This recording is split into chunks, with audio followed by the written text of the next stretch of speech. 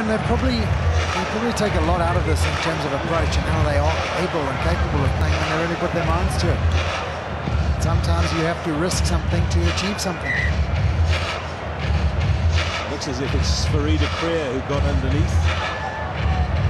Great tackle. Had a big game, hasn't he? Well, you talk about bodies on the line. That's a perfect example.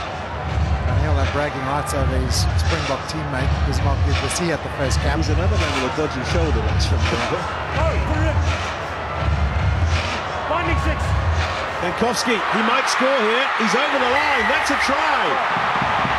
Now the Sharks have got to convert it and then get the game going again. Rory Kockott races back. He's looking for the drop goal conversion and he's got it. He's got it.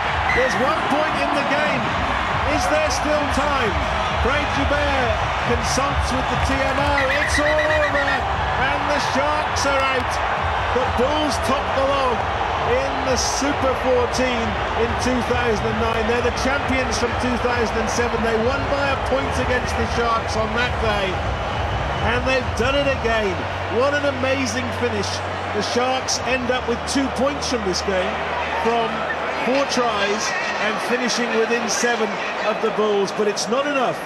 The Sharks are out, the Bulls are through. The Bulls will play the Crusaders at Loftus next week and there'll be an all New Zealand clash in Hamilton between the Hurricanes and the Chiefs.